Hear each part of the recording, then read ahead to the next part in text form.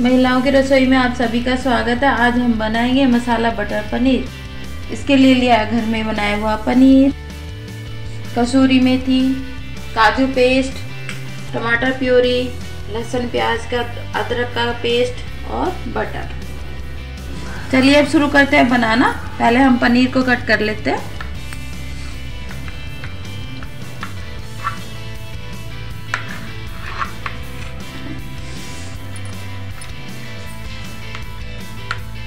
चलिए अब बना रहे हैं हम। बटर लेते हैं।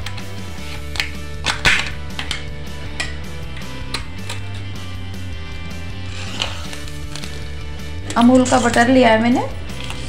बटर पनीर बना रहे हैं तो इसलिए हमें ज़्यादा बटर चाहिए। क्यूब ले लिया मैंने। पहले हम थोड़ा डालेंगे। मसाला भूनने के लिए हमें इतना काफ़ी रहेगा। एक कढ़ाई में इसको डालेंगे। करना है पहले। बटर को अच्छी तरह नहीं पिघालेंगे क्योंकि जल जाएगा और इस स्टेज पे अपना प्याज, लहसुन, अदरक का पेस्ट डाल देंगे। तो अब हिलाएँगे, अब ये अपना आप ही पिघल जाएगा। के साथ ही भुन जाएगा। प्याज को ब्राउन करना है। और देखिए, अब हमारा बटर भी मेल्ट हो गया। प्याज के साथ साथ और अभी इसमें कसूरी मेथी भी डाल देंगे। अच्छी खुशबू भी आएगी और अच्छे से भुन भी जाएगा ये। हिलाते रहना ताकि ये हमारा मसाला जले नहीं। और अब डाल देंगे हम अपना काजू पेस्ट। इसको भी थोड़ा भूनेंगे। हमारा मसाला भुन गया है। काजू का भी पेस्ट भुन रहा है और प्याज लहसुन का, अदरक का। अदरक, प्याज, लहसुन का पेस्ट भी काफ़ी भुन गया है। ये देखिए भी है। और बटर भी सेपरेट हो रहा है और खुशबू भी अच्छी आ रही है। और अब अपना डालेंगे टमाटर प्योरी चलिए बनाना और अब इसमें अपने मसाले भी ऐड करेंगे। हल्दी लिए मैंने हाफ़ टी स्पून गरम मसाला, ज़्यादा लिया है। एक टीस्पून सूखा धनिया लिया है।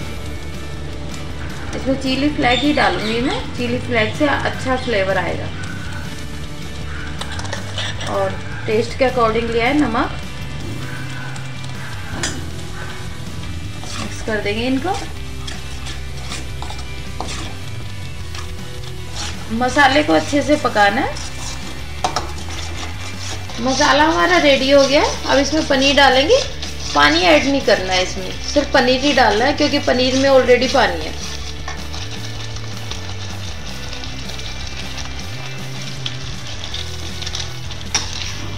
मिक्स कर देंगे।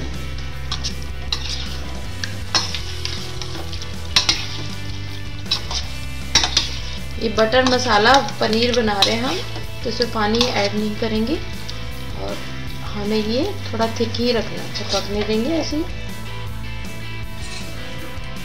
अब हमारा बटर पनीर तैयार है, इसे एक बॉल में सर्व करेंगे।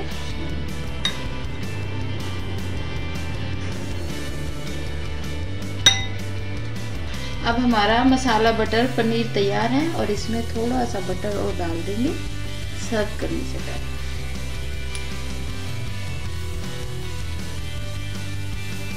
अगर आपको मेरी रेसिपी अच्छी लगी तो चैनल को सब्सक्राइब करें और वीडियो को लाइक एंड शेयर करें।